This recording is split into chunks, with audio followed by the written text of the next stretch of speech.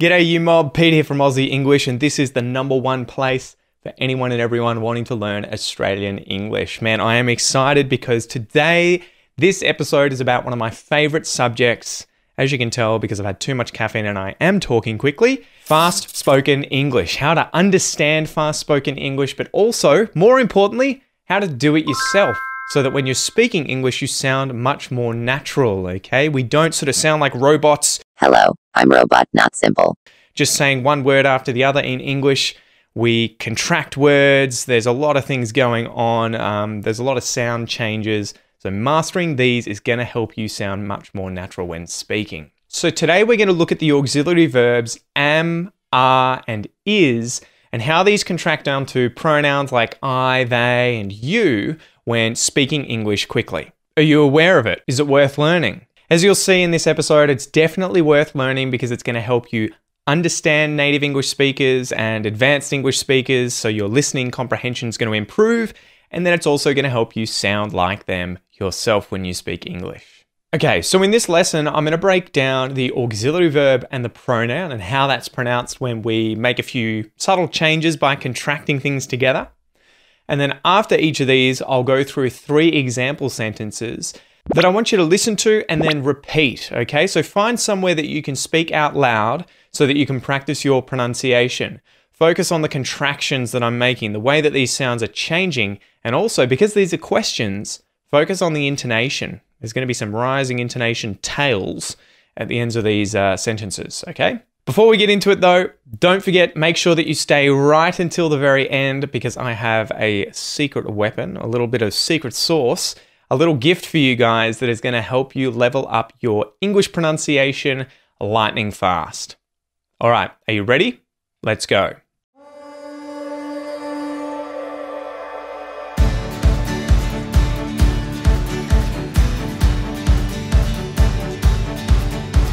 So, number one,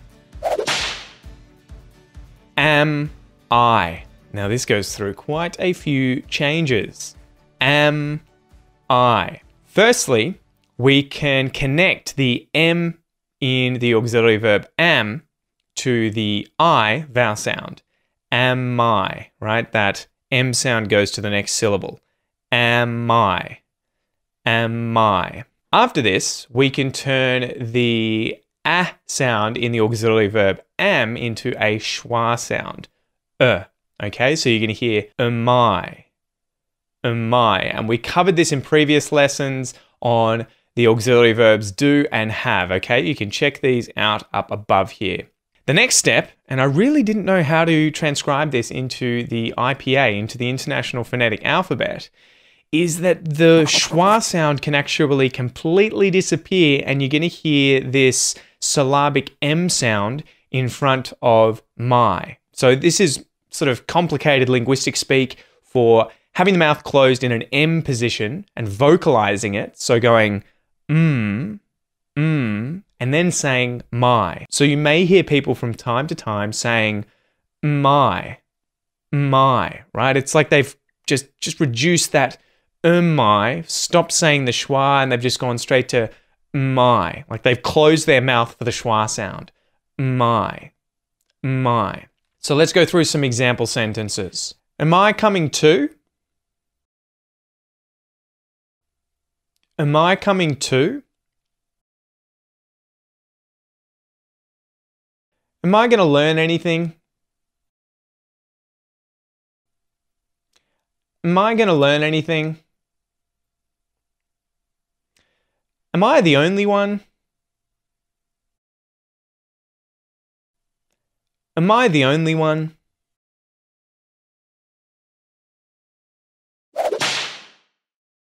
Number two, are you? Are you? And you will notice in Australian English, is there a rhotic r sound in the auxiliary verb are? Do you hear it or do you not hear it when I pronounce that word?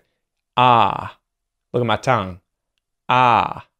Australian English is non rhotic. So we only say the R sound in these uh, words when there's a vowel sound after them. So in the case of are you, we don't say the R. Are you? So the first and only step to contracting R and U is turning R into a schwa sound, right? We reduce it. It's unstressed, so it becomes the schwa. U, U, U uh, U. And you may even hear you becoming y as well, where the u vowel sound in u has become a schwa. So you may hear a y, a y. In fact, I'd probably say that to be honest. Yeah, a y, a y. You'll see why in a sec, okay? It sounds weird. Let's listen to it in context. Are you leaving? Are you leaving? Are you working today? Are you working today?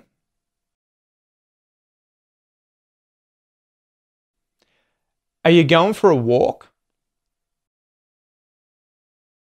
Are you going for a walk? So it could be either. Are you? Are you going for a walk? Or are you? Are you going for a walk? Number three. Is he? With the word he, the H disappears, right? When we link this together, especially when there's a Z or another consonant sound before that H, you're going to hear is Z, right? Is Z. There's no H sound. It's H deletion. It's gone. It's been deleted. Is Z. Is Z. The next step, like we did previously, is we put that schwa in in place of the auxiliary verb vowel. So you're going to hear Z, uh, Z. The last thing here that's really interesting is that sometimes we can actually completely get rid of that schwa sound and you're just going to hear Z. Z. It's kind of like the am I and the my. Z. Z. Let's go through some examples. I'll say them once with Uzi and then the second time with Z. Is he at home? Is he at home?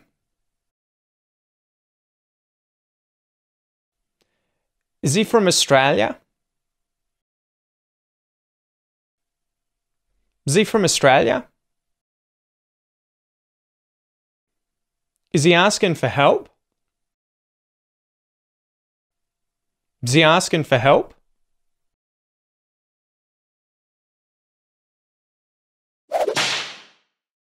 Number four is she. Is she.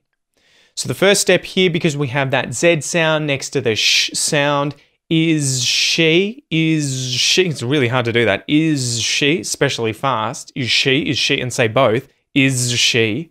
We get rid of the Z sound. So you're just going to hear i, she, is she, is she. The next step is turning that i vowel sound from the word is into a schwa, she, she.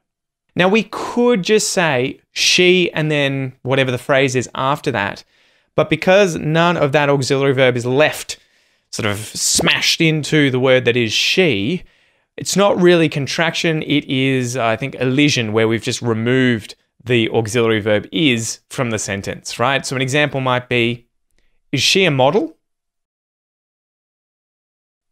Is she a model?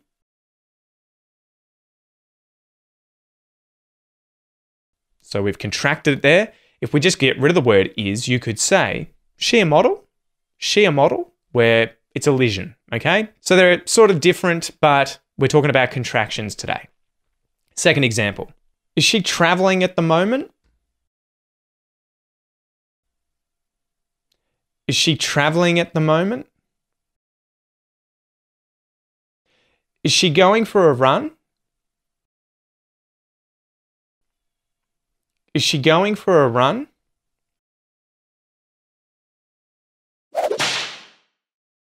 Number five, are we? Remember that R. No R sound is in R. There's no R in R. There is when I say it like that though. R in R. Confusing. Australian English, huh? Are we? Are we? So the first and only thing that we do here is turn are into a schwa. Away. we? Are we late? Are we late?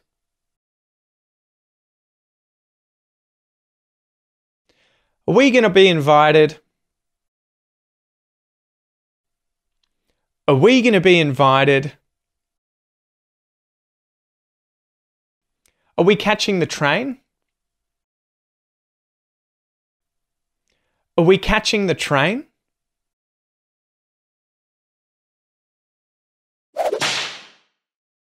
Six. Are they? Are they? Similar to the one before, there's only one step here and it is turning are into the schwa so that you'll hear they. Are they? Are they your friends? Are they your friends? Are they playing soccer? Are they playing soccer? Are they at home? Are they at home?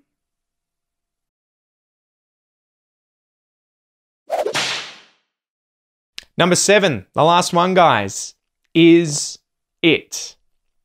Is it. First step, the z sound joins to that vowel sound i.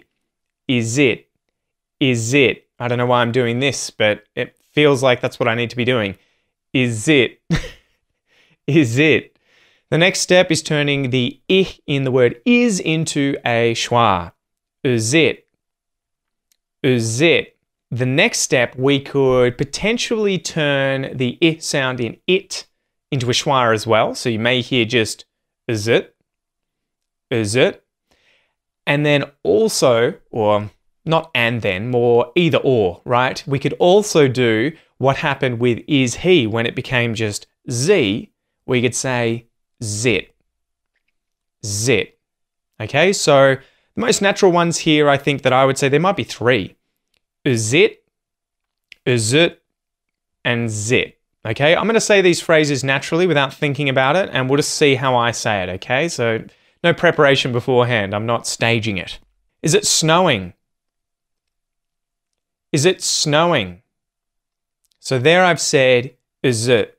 Two schwas. Is it snowing? I could say, is it snowing outside? So just zit, zit, not even zit. Is it snowing outside?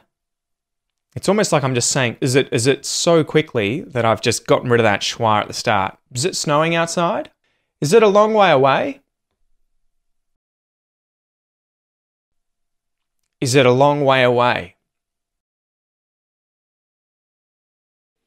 Is it going to change anything?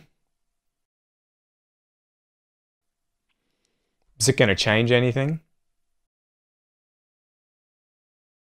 So there you go. That's something we can end on, right? It's really interesting that this sort of level of contraction in these phrases, it can vary and uh, native speakers like myself may use multiple different kinds, right? If we're really contracting everything together, you might hear things like, is it snowing outside?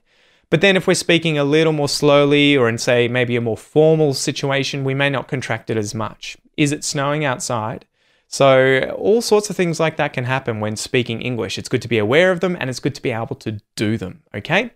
So, before I tell you about my special gift for you today, let's recap what we have gone through, okay? So, I'm going to say the auxiliary verbs and the pronouns and how they get contracted together. I'll give you one of the examples, I won't go through all of them.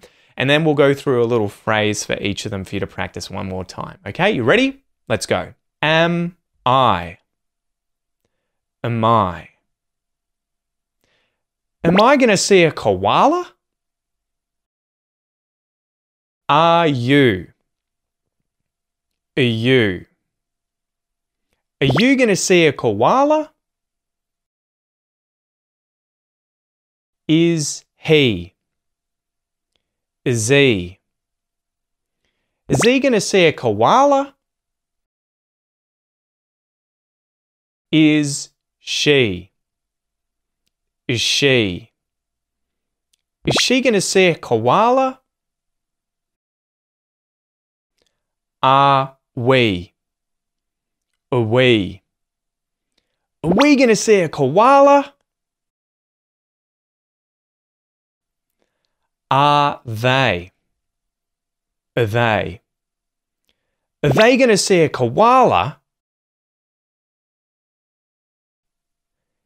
Is it? Is it? Is it going to say a koala? So there you go, guys. I hope that helped. I hope you can now hear and understand fast spoken English, but more importantly, I hope you can say it yourself, okay? If you would like to take your pronunciation to the next level, if you want to master things like the IPA, the International Phonetic Alphabet, which is what I think is the secret weapon to improving your pronunciation by yourself, if you also want to nail all the different vowel sounds in Australian English and all of the different consonant sounds in Australian English, then I recommend that you go and check out my Australian pronunciation course. There'll be a special link in the description today where for the next 24 hours after this video and podcast has been published, you can sign up for 33% off the normal price, okay? And lastly, I recently added an extra 25 advanced pronunciation lessons for you to complete after you've mastered the different sounds in Australian English. These are things covering the syllabic L, the syllabic N, um, different connected speech, consonant clusters, how sounds disappear, the Australian R sound. There are loads of things in there, little nuggets, little secret tips for you to learn so that you sound much more like an advanced English speaker when speaking English. Go figure. Anyway, I'm Pete. This is Aussie English. Thank you so much for joining me, and I will see you next time. See ya.